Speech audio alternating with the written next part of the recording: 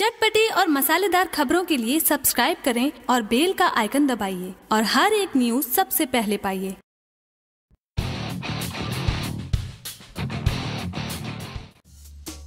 भोजपुरी फ़िल्मों के power star पवन सिंह का जलवा भोजपुरी बॉक्स ऑफ़िस पर सर चढ़कर बोल रहा है। तभी तो इनकी फ़िल्मों का इंतज़ार भोजपुरी दर्शक काफ़ी लंबे समय से करते हैं और जब भी इनकी फ़िल्म भोजपुरी बॉक्स ऑफ़िस पर आती है, अपने पुराने ही फ़िल्मों का रिकॉर्ड तोड़कर पवन सिंह एक नया अध्याय बॉक्स ऑफ़िस पर स्थापित कर देते हैं। इसी कड़ी में पवन सिंह की एक और नई फ़िल्म का अनाउंसमेंट किया गया है। जी हाँ आपको बता दें की भोजपुरी फ़िल्म के सबसे बड़े प्रोड्यूसर यसी फ़िल्म के मालिक अभय सिन्हा ने पवन सिंह के साथ एक और नई धमाकेदार फ़िल्म की शुरुआत करने जा रहे हैं जिसका नाम है घातक। जी हाँ आपको बता दें कि घातक की घोषणा कर दिया गया है। आपको बता दें कि घातक को यसी फिल्म्स के बैनर तले निर्मित की जाएगी, जबकि निर्देशक की बागडोल संभालेंगे टीनू वर्मा जी हाँ टीनू वर्मा ने भोजपुरिया बॉक्स ऑफ़िस पर कई सुपर डुपर हिट फ़िल्में दिए हैं, लेकिन अभी तक घातक के बारे में कोई भी ऑफिशियली खबर लीक नहीं किया गया है। लेकिन मीडिया रिपोर्ट की खबर माने तो घातक में कौन सी अभिनेत्री काम करेगी, इसकी खुलासा कर दिया गया है। जी हाँ आपको बता दें की घातक में पवन सिंह के साथ एज ए लीड कैरेक्टर में आम्रपाली दुबे नज़र आ सकती है। जी हाँ ऐसा खबर की माने तो